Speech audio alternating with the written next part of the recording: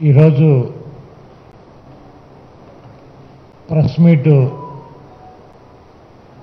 పెట్టినటువంటి ముఖ్య ఉద్దేశం ఈ రాష్ట్రంలో ఉన్నటువంటి పేదలకి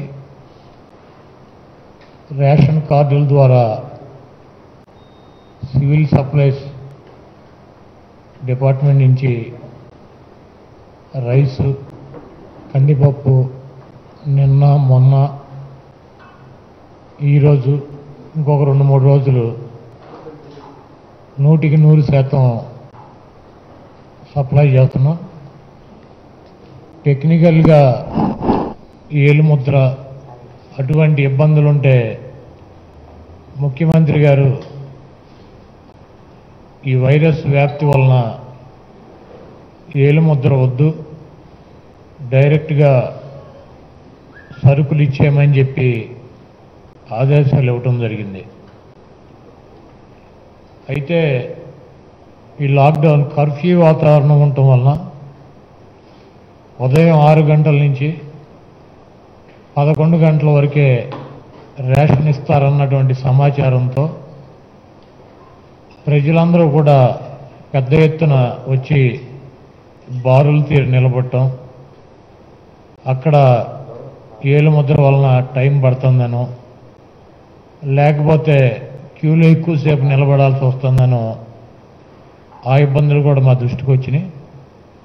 అందుకే ఏలు ముద్ర అనేది తీసేయమని చెప్పి ముఖ్యమంత్రి గారు ఆదేశాలు ఇచ్చినా తీసేసినా కూడా క్యూలు అలాగే కంటిన్యూ అవుతున్నాయి. ఎందుకంటే ఒక వ్యక్తికి షాపు దగ్గరికి వచ్చినటువంటి వ్యక్తికి అతనికి కావాల్సినటువంటి ఇవ్వాల్సినటువంటి బియ్యాన్నో పప్పునో పంచదారనో కొలిసి వాళ్ళ బ్యాగుల్లో పోయటానికి మూడు నుంచి నాలుగు నిమిషాలు పట్టేటువంటి పరిస్థితి ఉంది. అంటే గంటకి ఎంత స్పీడ్గా చేసినా ఇరవై నుంచి ఇరవై ఐదు మందికే ఇవ్వగలిగినటువంటి పరిస్థితి. లైన్లో ఒక వంద మంది వచ్చి నిలబడితే కనీసం ఐదు ఆరు గంటలు టైం పట్టేటువంటి పరిస్థితి. కాబట్టి నేను ఒకటే కోరుతున్నాను.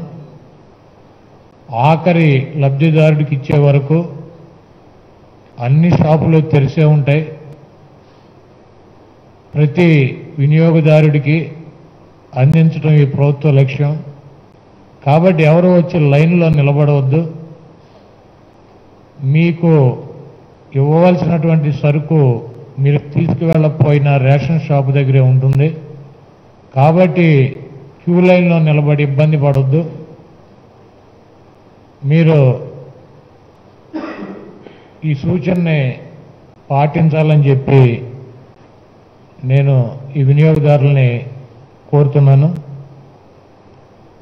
అదేవిధంగా కొంతమంది అడుగుతున్నారు గ్రామ వాలంటీర్లతో ఎందుకు సప్లై చేయించట్లేదు? మీరు వాలంటీర్లతో సప్లై చేయించానని చెప్పి చెప్పారు. ఎవరు అడుగుతున్నారంటే వాలంటీర్ల వ్యవస్థ పనికిరాని వ్యవస్థ. వారి ఇళ్ళకెళ్ళి ఆడపిల్లల్ని వేడి ఏడిపిస్తున్నారు. రకరకాల కార్యక్రమాలు చేస్తున్నారు.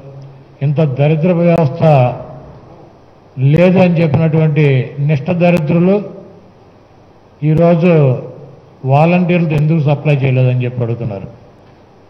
మేము గతంలో చెప్పాం వాలంటీర్లతో రేషన్ ఇంటింటికి సప్లై చేస్తామని చెప్పి. ఆ రోజు ఐదు కేజీలు పది కేజీలు ఇరవై కేజీలు బ్యాగులు తయారు చేయించి ఏ ఇంటికి ఎంత అవసరం అవుతుందో ఆ రైస్ని బ్యాగింగ్ వ్యవస్థ ద్వారా గ్రామ వాలంటీర్లతో ఇంటికి సప్లై చేస్తామని చెప్పి చెప్పాం.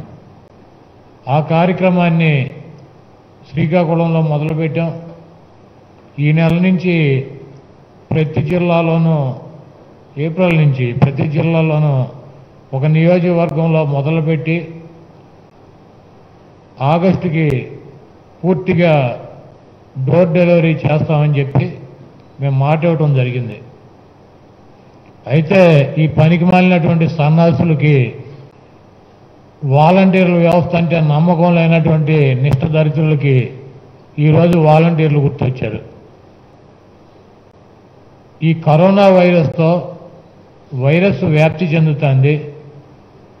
బ్యాగులు తీసుకువెళ్ళి ఇంటికి ఇవ్వటం అయితే శ్రేయస్కరం వాళ్ళకి ఇవ్వాల్సినటువంటి బియ్యాన్నో పప్పులనో లూజుగా వీళ్ళు ఏదో ఒక బ్యాగ్లో తీసుకువెళ్ళి వాళ్ళ ఇంట్లో ఇచ్చి మళ్ళీ వాళ్ళ ఇంట్లో ఇచ్చినటువంటి బ్యాగులను తీసుకెళ్ళి ఇంకొకళ్ళ ఇంట్లో ఇచ్చి ఇదంతా ఇబ్బందికరం అవుతుంది.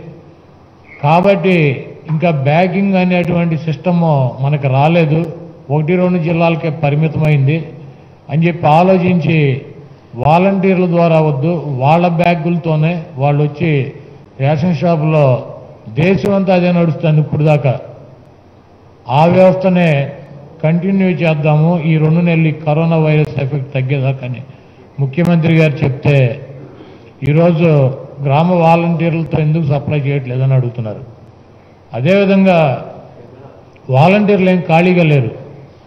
ఈరోజు ఈ రాష్ట్రంలో ఏ ఇంట్లో కొత్త వ్యక్తులు వచ్చారు? వేరే ప్రాంతం నుంచి. వాళ్ళ ఆరోగ్య పరిస్థితులు ఎలా ఉన్నాయి? ఎప్పటికప్పుడు ప్రభుత్వానికి సమాచారాన్ని అందజేస్తూ వాళ్ళు సైనికుల్లాగా పనులు చేస్తున్నటువంటి వ్యక్తులు వాలంటీర్లు. ఈరోజు వాళ్ళ సంకనాకడానికి ఈ దేవినేని ఉమాగాడు సొల్లు సోమిరెడ్డి గారు రెడీ అయిపోయారు. మొన్నటిదాకా వీళ్ళు వ్యవస్థ వైసీపీ కార్యకర్తలను పెట్టుకున్నారు. రౌడీలు ఉన్నారు గోండాలు ఉన్నారు. ఈ వ్యవస్థ దండగని చెప్పినటువంటి వ్యక్తులు ఈరోజు వాలంటీర్ల వ్యవస్థ అవసరాన్ని గుర్తించడాన్ని నేను నిజంగా వాళ్ళని అభినందిస్తున్నాను అదేవిధంగా నిన్న చోడవరంలో ఒక వృద్ధురాలు చనిపోయింది. ఆవిడకి ఆరోగ్యం బాగోక రేషన్ తీసుకొస్తానని చెప్పి బయలుదేరి వెళ్ళి రేషన్ షాప్కి వెళ్ళకుండానే వెనక్కి వచ్చి బాగాలేదని చెప్పి ఆవిడ ఇంట్లో చనిపోయింది. చనిపోతే ఈ ఎల్లో మీడియా బ్రేకింగ్ ఎవరు చనిపోయారంటని. నేను అడిగా ఏ ఏ ఛానల్ ఆడేస్తున్నాడని. ఓ మూడు పనికి మాలిన ఛానల్ పేర్లు చెప్పారు. అవి bogus news all bogus news ఒకటి. ప్రభుత్వం మీద విషం కక్కేటువంటి జగన్మోహన్ రెడ్డి గారిని భ్రష్టు పట్టించాలని చెప్పి నిరంతరం చంద్రబాబు నాయుడు గారి సారథ్యంలో ఆయన ఇచ్చేటువంటి గైడ్ లైన్స్లో పనిచేసేటువంటి ఛానళ్ళు వాటిని పట్టించుకోవాల్సినటువంటి అవసరం లేదని చెప్పి చెప్పినప్పటికీ అయిపోయింది. బ్రేకింగ్ న్యూస్ బ్రేకింగ్ న్యూస్ ఒక గంట కొట్టారు. ఇక ఇక్కడ దిగిపోయారు. ఈ ఉమాగాడు సోమిరెడ్డి సోలురెడ్డి దిగిపోయి కొడాలని మంత్రికి రాజీనామా చేయాలి. వాలంటీర్లు ఏమయ్యారు? జగన్మోహన్ రెడ్డి గారు ఏం చేస్తున్నాడు? ఈ రేషన్ షాపుల ద్వారా సప్లై చేసేటువంటి బియ్యం రేషను మన రాష్ట్రంలో కాదు దేశంలో అంతా కూడా ఇదే సిస్టమ్ నడుస్తుంది. ఈ రోజు దాకా దీన్ని మార్చాలని చెప్పి వాలంటీర్లను తీసుకొస్తే ఇంకా ఆ సిస్టంలో పని మొదలెట్టకుండా పోయిన నెల వాలంటీర్లు తెప్పించామా? ఈ నెల మార్చామా? కాబట్టి ఏదోటి నిందలు వేయాలి. చంద్రబాబు నాయుడు పని పాట లేదు. అద్దాల గది ఒకటి పెట్టుకుని దాంట్లో కూర్చుని ఉన్నాడు. వైరస్ వస్తే డెబ్బై సంవత్సరాల వయసులో పోతానని చెప్పి రాష్ట్రాన్ని గాలికి వదిలేసి హైదరాబాద్ వెళ్ళిపోయాడు. పెళ్ళాం పిల్లలు మొత్తం అందరినీ మనల్ని మనలని అందరినీ వేసుకుని పోయాడు. అద్దాల రూములో ఒకటి పెట్టుకుని దాంట్లో కూర్చుని ఆక్సిజన్ పెట్టుకుని బతుకుతున్నాడు. ఈ రాష్ట్ర ప్రజలు ఏమైపోయారో కూడా పట్టించుకున్నటువంటి పరిస్థితి. ఆయన అక్కడుండి ఈ బ్రేకింగ్ న్యూస్లు చూసి ఈ పిచ్చకుక్కల్ని మొరగమంటే ఈ దేవులేని ఉమాగాడు రాజకీయాల్లో పదవుల కోసం వదిలిని చంపినటువంటి ఇటువంటి నృత్యగాళ్ళు వచ్చి నన్ను రాజీనామా చేయమని చెప్పేటువంటి పరిస్థితి. ఈరోజు ప్రెస్ మీట్ పెట్టింది వాళ్ళ మీద విమర్శలు చేయడానికి కాదు. వాళ్ళు చేస్తున్నటువంటి దుష్ప్రచారాన్ని తప్పుడు ప్రచారాన్ని తిప్పికొట్టాల్సినటువంటి అవసరం మా శాఖ మీద ప్రభుత్వం మీద ఉంది. ఇటువంటి తప్పుడు రాసి వార్తలు రాసేటువంటి ఛానల్స్ మీద చర్యలు తీసుకోమని చెప్పి ప్రభుత్వపరమైనటువంటి చర్యలు తీసుకోమని చెప్పి ఇప్పటికే ఆదేశాలు ఇవ్వడం జరిగింది. కాబట్టి మీడియా సోదరులు కానీ మీడియా యాజమాన్యం కానీ ఈ రాష్ట్రంలో కానీ దేశంలో కానీ ప్రపంచంలో ఉన్నటువంటి సమస్య కరోనా వైరస్. దాన్ని అరగట్టలేకపోతే మనిషి బతకటమో లేకపోతే పని చేసుకోవటమో కూడా ఇబ్బందిగా ఆర్థిక వ్యవస్థలు నాశనం అయిపోయి అన్ని రకాలుగాను సర్వనాశనం అయ్యేటువంటి పరిస్థితుల్లో ఈ ప్రపంచం ఉంటే అవి వదిలేసి రేషన్ షాప్ దగ్గర అరవై సంవత్సరాల వృద్ధురాలు చనిపోయింది ఎండలో నిలబెడటం వల్ల కొడాల నాని వాళ్ళని చనిపోయింది జగన్మోహన్ రెడ్డి గారి వాళ్ళని చనిపోయిందని చెప్పి ఈ కోడిగుడ్డుకి ఈకలు పీకేటువంటి కార్యక్రమాన్ని స్వస్తి చెప్పి ఇప్పటికైనా ఈ విపత్కరమైనటువంటి పరిస్థితుల్లో అయినా మీరు మనుషులని చెప్పి మేము మనుషులుగా బతుకుతున్నాం ఈ సమాజంలో సంఘంలో. ఈ పార్టీలను అడ్డం పెట్టుకుని ఈ ప్రజలను అడ్డం పెట్టుకుని కోటాను కోట్లకి పడగలెత్తాం. ఇదంతా కూడా ప్రజల భిక్ష. వాళ్ళని కాపాడవలసినటువంటి ధర్మం మన మీద ఉంటుందని చెప్పి కనీసం ఈ విపత్కరమైనటువంటి పరిస్థితులైన పార్టీలు కులాలు వర్గాలు వీటిని పక్కన పెట్టి ప్రభుత్వం ఏమి చేయాలి? ప్రభుత్వం ఏం చేస్తే ప్రజలకు మేలు జరుగుతుంది? ఎక్కడన్నా లోటుపాట్లు ప్రభుత్వ భారంగా ఉంటే వాటిని ఎత్తి చూపించి ప్రభుత్వానికి తెలిసే విధంగా చేయాలి కానీ ఇటువంటి తప్పుడు రాతలు రాయటానికి ఇటువంటి తప్పుడు రాజకీయాలు చేయడానికి ఇది సందర్భం కాదని చెప్పి మీడియా సోదరులకు కూడా తెలియజేస్తూ ఇంకోటి నిన్న దాదాపు పదిహేడు లక్షల మందికి రేషన్ ఇవ్వడం జరిగింది. మొన్న ఒక పదిహేడు లక్షల మందికి రేషన్ ఇవ్వడం జరిగింది. అంటే దాదాపు ముప్పై ఐదు లక్షల మందికి రేషన్ సరుకులు ఇళ్ళకు తీసుకువెళ్ళారు. రెస్ట్ తగ్గుతుంది. ప్రతి వినియోగదారుడికి ఇచ్చే వరకు షాపు తెలిసే ఉంటుంది. మీరు ఎవరు అధైర్యపడవసరం లేదు. వచ్చి అక్కడ హడావిడిగా లైన్లో నిలబడవద్దని చెప్పి మరొకసారిని మరొకసారి ప్రజానికాన్ని కోరుకుంటున్నాను. అదేవిధంగా చైనాలో పుట్టింది కరోనా వైరస్. చైనా అది ప్రపంచానికి శాపంగా మారింది. మన రాష్ట్రంలో ఒక చైనా ఉన్నాడు. Yellow virus Chandrababu Naidu. అది కూడా కరోనా వైరస్కి ఏమీ తీసిపోదు ప్రపంచాన్ని నాశనం చేసేటువంటి కరోనా వైరస్కి చైనాలో పుట్టినటువంటి కరోనా వైరస్కి ఇంకా ముందు వ్యాక్సిన్ ప్రపంచం కనిపెట్టలేదు కానీ మనకున్నటువంటి చైనా గాడిని కోరల పీకి సమాధి చేసి పైకి లెగవకుండా దాని ప్రభావాన్ని తగ్గించి బూస్టాప్ చేసిన చేసినటువంటి వ్యాక్సిన్ వైఎస్ జగన్మోహన్ రెడ్డి గారు.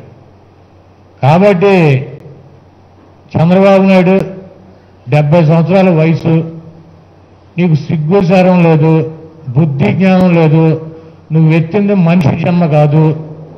ఈ రోజు కూడా నీ ఊర కుక్కలతో జగన్మోహన్ రెడ్డి గారి మీద మా మీద ఇంకా ఆరోపణలు రాజకీయ విమర్శలు. శవాలను పట్టుకుని ఎక్కడో ఒక ముసలావిడ చనిపోయిందని చెప్పి ఒక శవాన్ని పట్టుకుని రాజకీయాలు చేయటం. నీది అసలు మనిషి జన్మేనా? కాటికి కాళ్ళు చాపి రేపో మాపో పోవటానికి సిద్ధంగా ఉన్నటువంటి నువ్వు ఇటువంటి వైరస్ వచ్చి చిన్నపిల్లల కాడి నుంచి పెద్దవాళ్ళ వరకు వణికిపోతా ఇంట్లో కూర్చుంటే ఈ ప్రపంచమే. నువ్వు రాజకీయాల కోసం దిగజారి ఇటువంటి దిక్కుమాలినటువంటి పనులు చేస్తున్నటువంటి నువ్వు మనిషివా? మనిషి జన్మనెత్తినటువంటి వ్యక్తివా? అర్థం కావట్లేదు మాకు. కాబట్టి చంద్రబాబు నాయుడు డెబ్బై సంవత్సరాల వయసు నలభై సంవత్సరాల అనుభవం అని చెబుతున్నావు. హైదరాబాద్ పారిపోయి వైరస్ గురించి మా అందరికన్నా నీకే ముందు తెలుసు. హైదరాబాద్ పారిపోయి అద్దాల గదిలో బాగానే దాక్కున్నావు. నీకు వైరస్ సోకుండా ఈ రాష్ట్ర ప్రజల్ని కాపాడాల్సినటువంటి ధర్మం ఈ ప్రభుత్వం మీద జగన్మోహన్ రెడ్డి గారి మీద ఉంది. మేము ఆ కార్యక్రమాలు చేస్తున్నాం నీకు మళ్ళీ పబ్లిసిటీ పిచ్చితోనో హుదూద్ తుఫాన్లో వైజాగ్ నేనే కాపాడాను.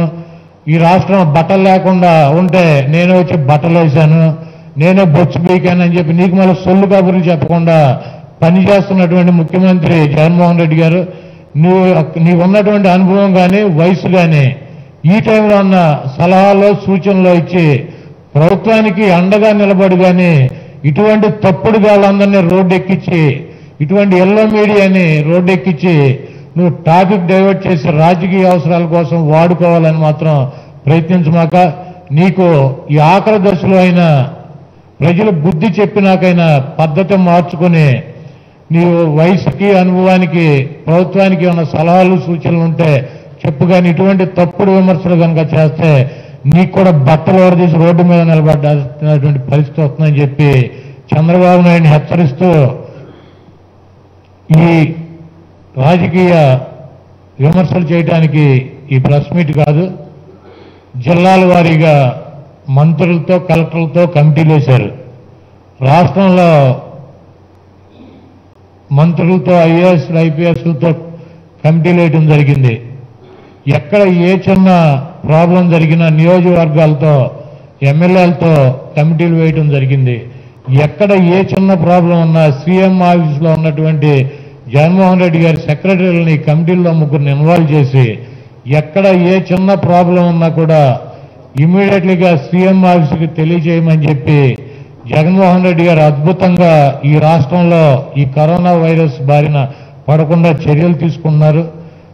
వారికి సీఎం గారికి జగన్మోహన్ రెడ్డి గారికి పాత్రికేయులు కానీ ప్రతిపక్షాలు కానీ చంద్రబాబు నాయుడు పార్ట్నర్లు కానీ తోక పార్టీలు కానీ ఇవన్నీ కూడా సహకరించాలని చెప్పి చేతులు జోడించి వేడుకుంటున్నాం.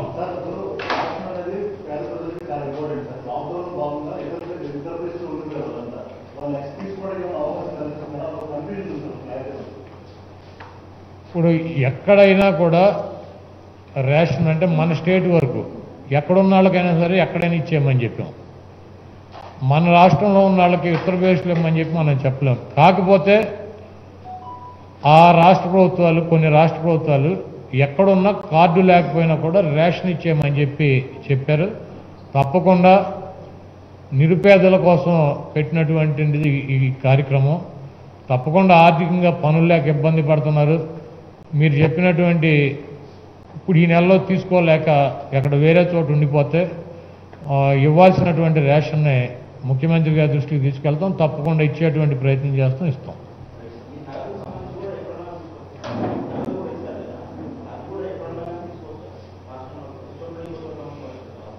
అంటే టెక్నికల్గా బిగిన్ చేస్తే నగదు పంపిణీ ఎంతమందికి కార్డు హోల్డర్ ఉన్నారు ఎంతమంది తీసుకోలేకపోయారు వాళ్ళకి ఏం చేయాలన్నది మిగిలిపోయింది ఎంతమందికి మిగిలిపోయారు అన్నది మాకు ఒక అవగాహన వస్తుంది. ఎవరికి ఎక్కొట్టేటువంటి ఉద్దేశం ఈ ప్రభుత్వానికి లేదు. నూటికి నూరు శాతం ఏదో ఏదో రకంగా మేము పెట్టినటువంటి స్కీమ్ని ఇప్పుడు వెయ్యి రూపాయలు ఇస్తా అని చెప్పారు. దాంట్లో ఎక్కొట్టాలనేటువంటి ఉద్దేశం ప్రభుత్వానికి ఉండదు. నూటికి నూరు శాతం ఇవ్వాలని ఉంటుంది. ఎంతమంది మిస్ అయ్యారు ఎందుకు ఇవ్వలేకపోయారు కారణాలు ఏంటి వారికి ఆర్థిక ఇబ్బంది వల్లనే కదా ఇచ్చేది. వాళ్ళు ఎక్కడో చోట అప్పో సప్పో చేసుకుని ఖర్చు పెట్టుకుంటారు. తప్పకుండా ప్రభుత్వం సహాయం చేయాలన్నది ప్రతి వ్యక్తికి ఉంది. అటువంటివి కూడా ముఖ్యమంత్రి గారి దృష్టికి తీసుకువెళ్ళి తప్పకుండా న్యాయం జరిగేటట్టు చేస్తాం.